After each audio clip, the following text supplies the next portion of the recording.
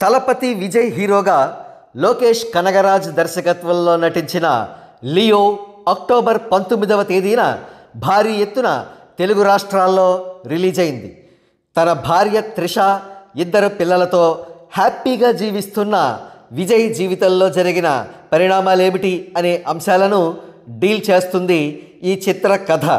కాగా ఈ చిత్రంలో విజయ్ వన్ మ్యాన్ షో చాలా టెరిఫిక్గా చేశాడని చెప్పవచ్చు.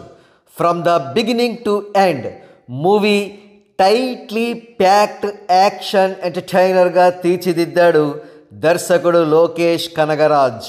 మరి ముఖ్యంగా కొన్ని జా డ్రాపింగ్ సన్నివేశాలతో ఫస్ట్ హాఫ్ అవుట్ స్టాండింగ్గా సాగుతుంది ఇంటర్వెల్ బ్లాక్తో సహా. ఇక సెకండ్ హాఫ్లో వచ్చే ఒక ఎమోషనల్ సన్నివేశంలో విజయ్ డైలాగ్స్ టచింగ్గా ఉంటాయి. కాగా ఈ అంశాలన్నీ ఒక ఎత్తైతే అనిరుద్ధ్ బీజిఎం ఒక్కటి మరొక ఎత్తు అన్నట్లుగా సాగుతుంది. హీరో ఎలివేషన్స్కు మాత్రమే కాదు ఇతర ప్రధాన పాత్రధారులైన సంజయ్ దత్కు అర్జున్ సాహాకు కూడా డిఫరెంట్ బీజిఎం ఇచ్చి ఆకట్టుకుంటాడు అనిరుద్ధ్.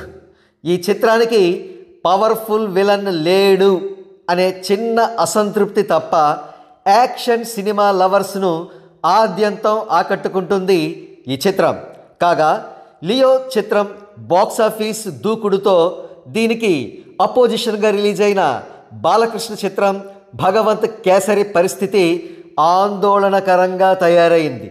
అసలే ఓపెనింగ్స్ లేక ఢీలా పడిన భగవంత్ కేసరి లియో ప్రభంజనం ముందు నిలబడే అవకాశాలు తక్కువగా ఉన్నాయంటున్నారు. చూద్దాం ఏం జరుగుతుందో.